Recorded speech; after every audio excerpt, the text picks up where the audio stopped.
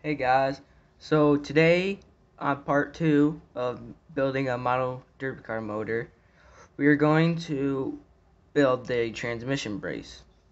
So first thing you're gonna need is this stuff right here. It's end of um rivet. Um, so they usually come pretty long. So I will just I just I cut all mine already, but you just measure the length of yours and then you just cut it and then do that to the other ones. And once you have it cut, you go from the top, then to the side, to the bottom, and then to the other side. See how many you need? I need four, so I got four here. And once you've done all that, you just put it it right where it starts, where the crease kind of starts, and one where the drive shaft goes into. That's where you put the first one. And with this right here, with the transmission brace, it won't fit like it's supposed to in the car. So instead of sitting like this, it might sit like that. Um, but yeah.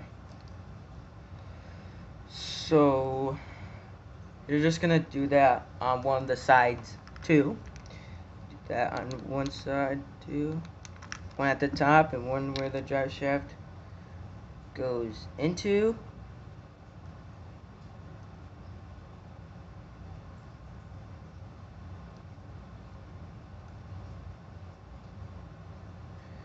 But yeah. So there you go.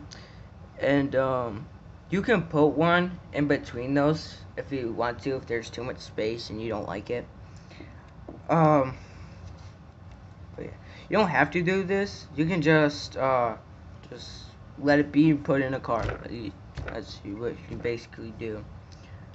But um yeah I'll get to I'll do the bottom and the sides and I'll show you when it's all done so guys, I just finished it. So there it is. And like I said before, you can put uh, one in between those if you want, but you don't have to. So, and you can uh, color those if you want to. It's up to you. Uh, but I'll catch you guys next time when we build the headers and the wires. So, see ya. See you next time.